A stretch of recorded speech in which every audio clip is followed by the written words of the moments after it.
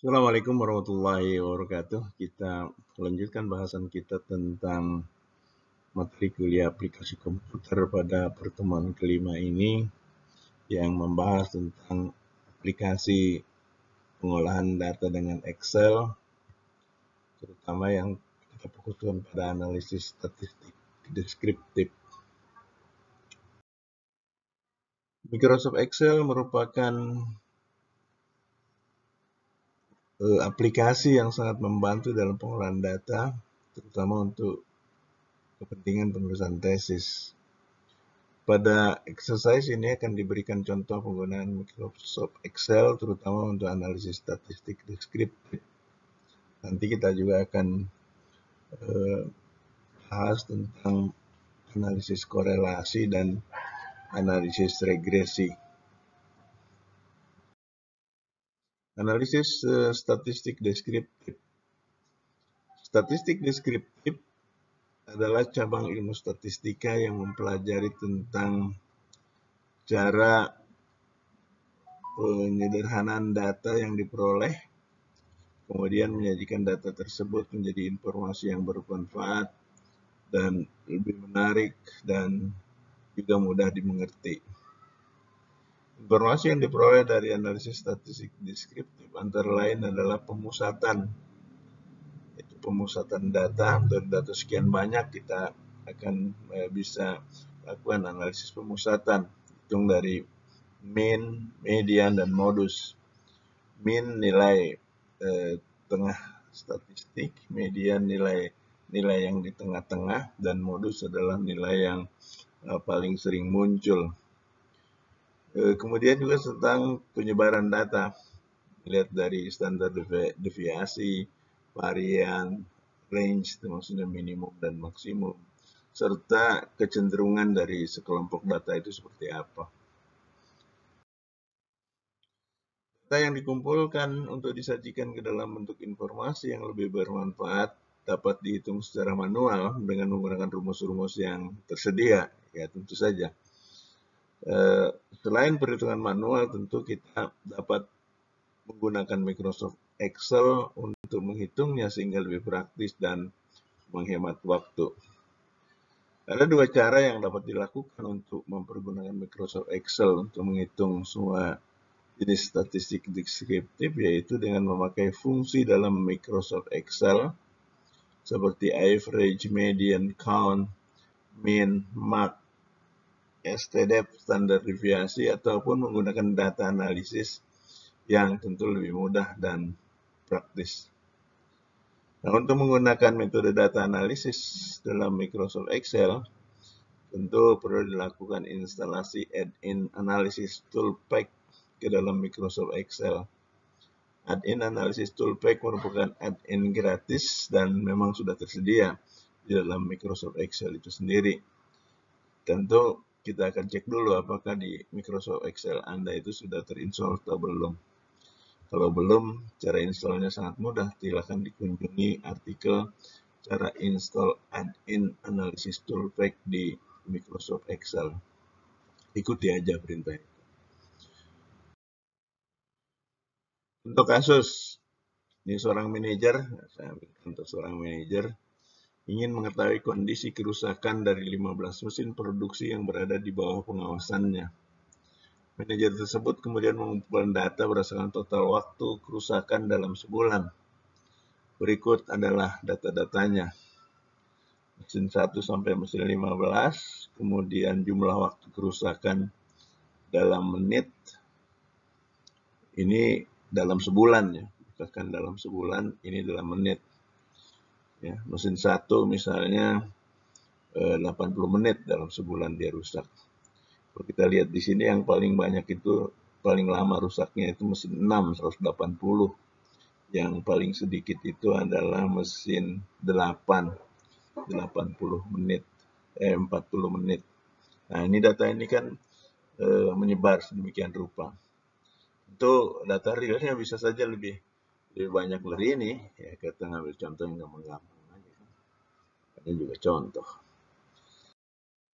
Nah langkah-langkah analisis statistik deskriptif menggunakan analisis toolpack Microsoft Excel adalah yang pertama program Microsoft Excel-nya, kemudian masukkan data yang telah didapat ke dalam worksheet, masukkan datanya, eh, di menu bar klik data, nah, klik data analisis kalau udah keluar tadi ya kan kita udah install data analisis biasanya kalau yang lalu tuh belum ada data analisisnya, maka diinstal tadi pakai uh, toolpack Microsoft Excel.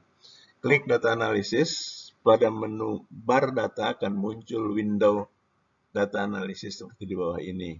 Ya. Terus ini tinggal kita pilih yang di kanan itu apa analisis yang mau kita lakukan. Di situ adalah uh, statistik, uh, descriptive statistics. Pilih deskriptif statistik. Kemudian pilih atau klik OK, maka akan muncul window deskriptif statistik. Pada kolom oh, pada kotak input range, klik tombol selection untuk seleksi atau blok daerah data yang akan dianalisis. Misalnya di sini dari B3 sampai B18.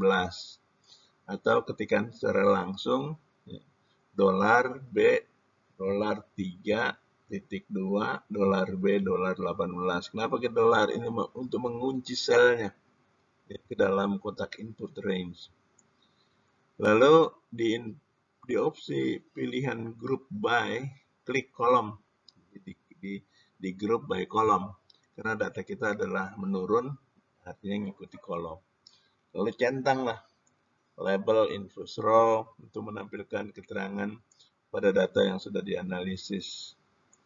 Pada output app, uh, option ada beberapa pilihan sebenarnya. Pilih new worksheet fly, jadi kita akan menghasilkan hasilnya di lembar kerja yang baru atau yang yang lain. Dan ketikan analis hasil analisis deskriptif. Langkah ini untuk menempatkan hasil analisis ke worksheet yang baru tapi masih berada dalam workbook atau file yang sama.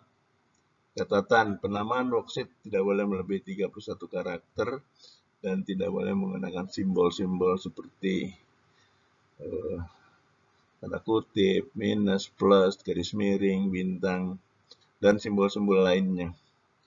Kemudian centang summary statistik. Saya pilih confident level for min, ketikkan misalnya 95 persen, K H KTH largest. Dan ketikkan dua langkah untuk menemukan data tertinggi kedua. KTH smallest. Langkah untuk menampilkan data terendah yang kedua. Dan kemudian klik OK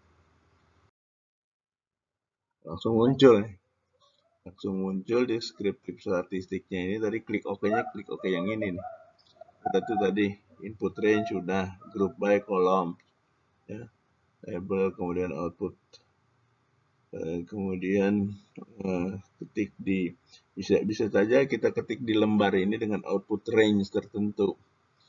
Kemudian bisa juga kita kita uh, letakkan di uh, lembar kerja yang lain tapi masih pada workbook yang sama atau di workbook yang baru. Kemudian dicentang centang centang lalu klik OK. Maka uh, hasilnya akan uh, muncul. Di sebelah sini hasilnya akan muncul hasil analisis deskriptif jumlah waktu kerusakan mesin dalam menit. Nah dari situ maka kita uh, interpretasikan. Misalnya min. Min adalah rata-rata jumlah waktu kerusakan mesin dalam sebulan. Itu 96,8 dengan standar errornya 11 323 lalu bawahnya itu di baris kelima ada ada min adalah nilai tengah dari jumlah waktu kerusakan yaitu 95 menit. Lalu di bawahnya lagi ada mode atau modus adalah nilai yang paling sering muncul 80 menit ya paling paling paling sering itu 80 menit kemudian ada standar uh, deviation atau standar deviasi 43,85 menit.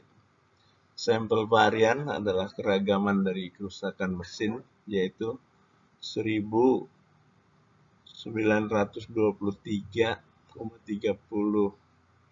1923,32 menit yang merupakan kuadrat dari standar deviasi. Lalu ada kurtosis. Waktu kerusakan adalah 1, kurtosis waktu kerusakan 1,3, skewness waktu kerusakan adalah 1,29, range waktu kerusakan adalah 160 menit, yaitu selisih dari waktu tertinggi dengan waktu kerusakan terendah. Minimumnya berapa? Minimumnya adalah 40 menit, maksimumnya adalah 200 menit. Sum adalah jumlah waktu kerusakan dari semua mesin yang diteliti. Count adalah jumlah mesin yang diteliti 15 mesin. Largest menunjukkan satu kerusakan tertinggi nomor 2 dari semua mesin yang diteliti yaitu 180 menit. Eh, smallest 2 menunjukkan waktu kerusakan terendah nomor 2 dari semua mesin yang diteliti yaitu 55 menit. Jadi tinggal klik-klik itu dalam hitungan detik sudah muncul analisis uh, statistik deskriptif ini. Saya kira demikian ya untuk uh, analisis statistik deskriptif menggunakan uh, aplikasi pengolah kata, pengolah data, pengolah angka dari Microsoft Excel. Nanti kita akan lihat lagi untuk uh, analisis uh, eh, korelasi misalnya, analisis korelasi, analisis regresi yang eh, dengan sangat mudah bisa kita lakukan. Terima kasih. Assalamualaikum warahmatullahi wabarakatuh.